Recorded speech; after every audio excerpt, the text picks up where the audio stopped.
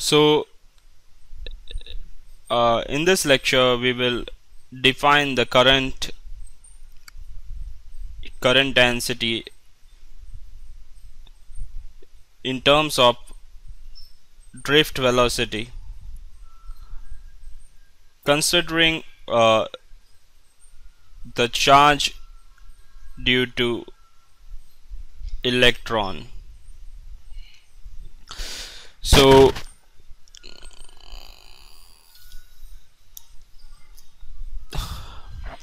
uh, what you need to consider is that uh, the electron has a charge of minus 1.6 into 10 raised to minus 19 which is in coulombs. And 1 coulomb is charge is produced by uh, 6.2 into 10 raised to 20 or uh, 18 uh, electrons.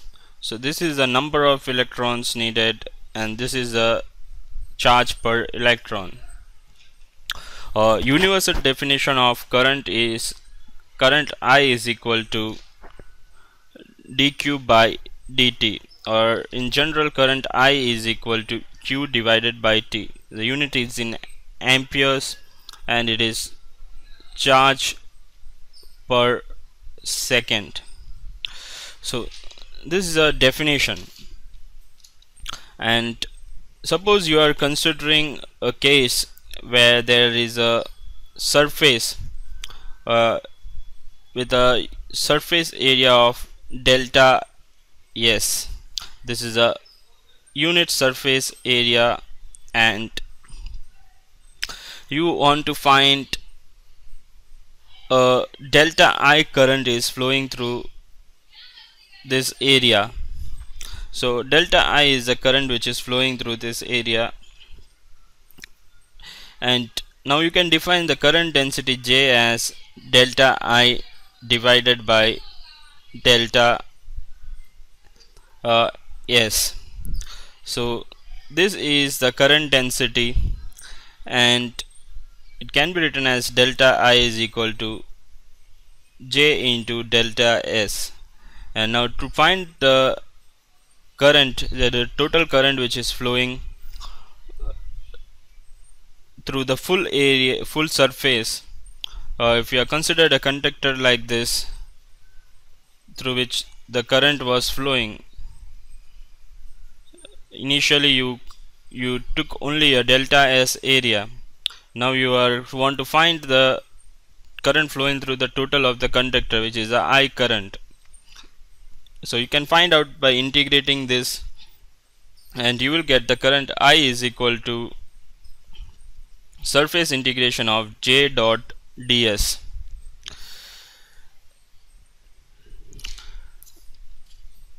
So this is how it's possible to define the current and the current density.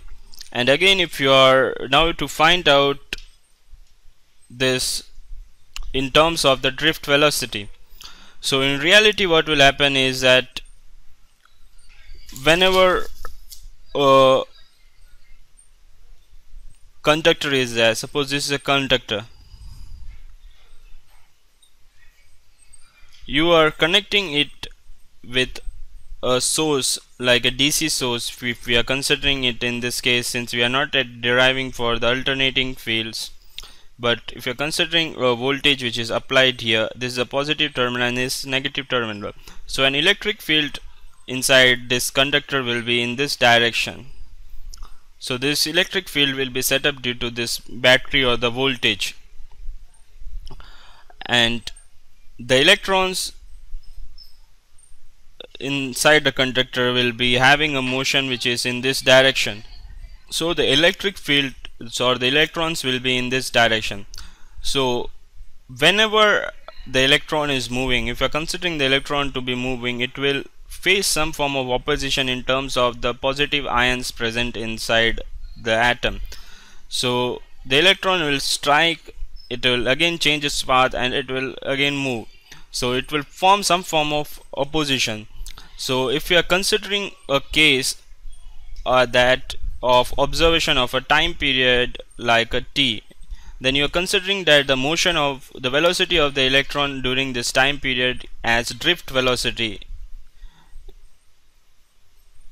u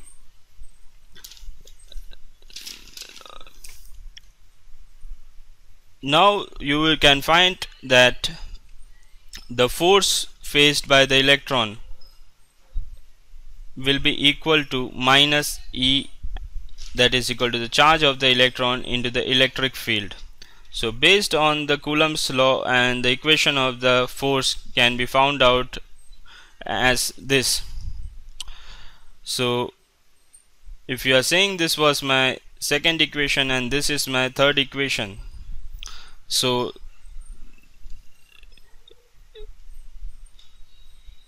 and if you are applying the uh, Newton's law which says that force is equal to mass into acceleration.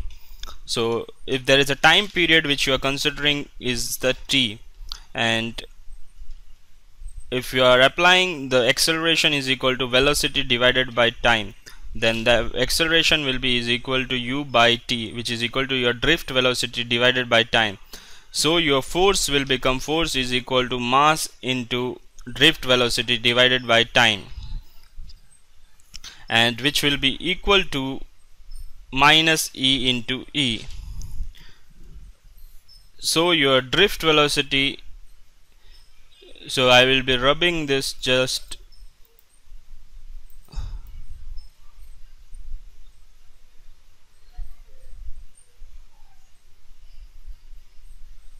so it's possible to show that your drift velocity u drift velocity u is equal to minus e into the time t divided by the mass of the electron into the electric field E.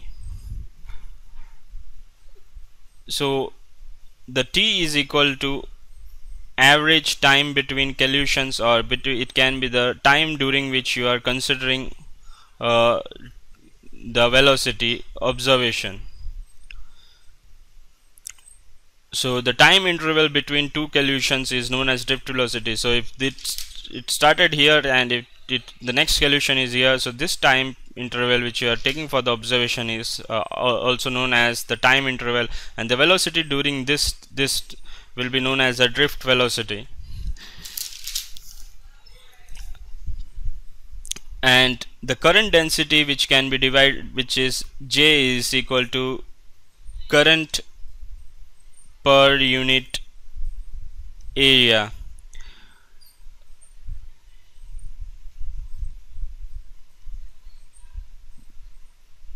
Which can be given is equal to uh, rho v into u.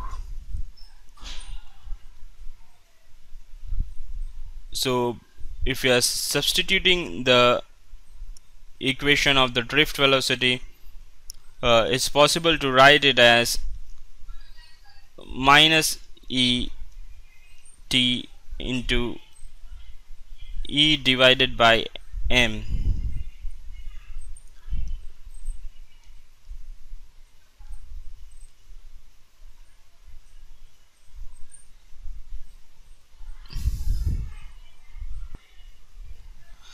and now if you are saying that rho v is equal to my if there is a volume suppose the conductor the volume is this and the total number of electrons in this if you are saying that it is rho v so if the number of electrons is the n then the num uh, the charge per volume will be divided by number of electrons into e. So your rho v will be equal to n into e. So since electron is a negative charge it will be minus. So n into e minus. So this j will be equal to minus uh, uh, minus minus will cancel so it will be equal to n into e square tau into E divided by N. So this whole thing is something known as my conductivity. And you can derive the final equation as J is equal to sigma into E.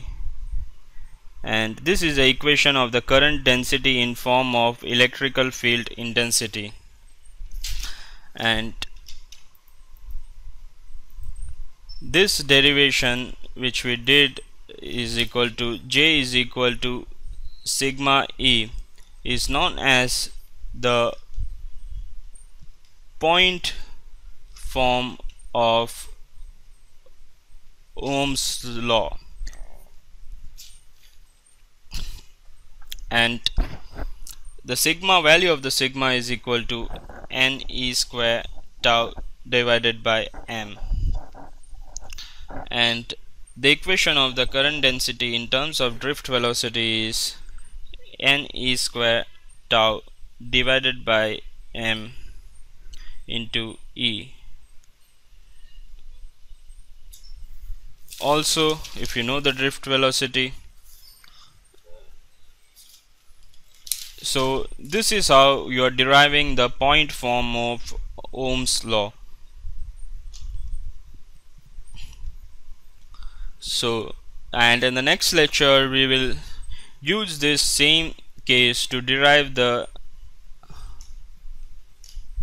the resistance of a conductor. So it's possible to derive the resistance of the conductor based on my electrical field and the next lecture I will show that rho r is equal to rho l by a